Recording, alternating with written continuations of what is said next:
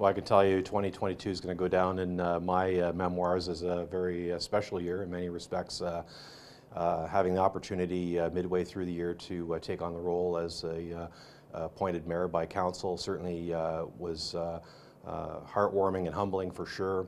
And then to carry on through that through the municipal election and have the support of the of the community to be their mayor for the next four years again, just two significant highlights for me. Uh, from a community, community standpoint, uh, you know, this 2022 really marked uh, the real start of the construction of our Muskoka Lumber Community Center. Uh, you know, if you go by the site today, you'll start seeing some real uh, progress in terms of some of the steel that's coming up and, and things like that. So it's starting to take shape. So that project is very, very exciting and continues to be something that uh, it would be a highlight uh, to see that because we worked so hard and so long on trying to ensure that we, first of all, had the right plan, the right time, and, and of course the funding behind that. And to see all those pieces come together and now see that we're going to have what I call a generational uh, uh, facility uh, in our community is going to be very, very exciting as we move forward into the next couple of years.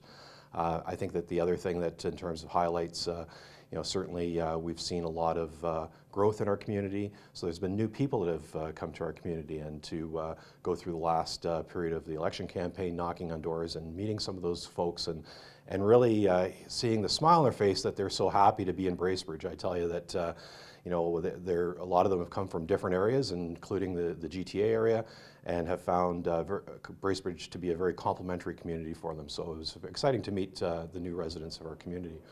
And I think that, uh, you know, as uh, kind of an overall uh, summary of 2022, it was a great opportunity now for us to move out of uh, the restrictions that we were tied to to COVID for uh, a couple of years and even longer.